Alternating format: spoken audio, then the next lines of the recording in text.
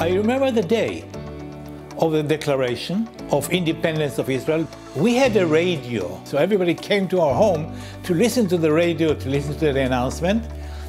And the day later, uh, Egyptian airplanes came to bomb Tel Aviv.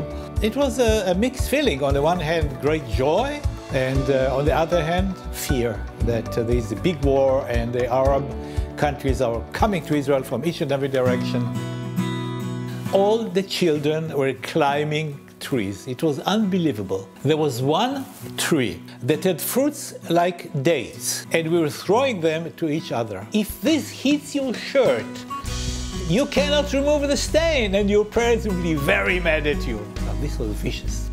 I read books endlessly. There's one book that I read 25 times the same book. Jules Verne, Mystery Island. There was a hero there. He was an engineer.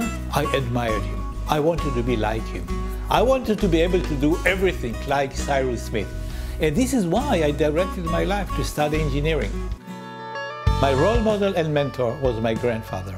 If I had a question, he had an answer. And I had many questions about science, about religion, and one thing that he did that affected my life later on was the gift that he bought me. It was a magnifying glass. And I was walking in the fields of Ramat Gan and looking at every flower, at every insect, at every small thing. And I fell in love with the world of small things. In later years, I became an expert in transmission electron microscopy. During the time when I did my master's degree, I fell in love with science. I made a discovery of a new structure of matter. And this, this was important enough for me to win many prizes. And finally, after many prizes, the Nobel Prize in Chemistry 2011.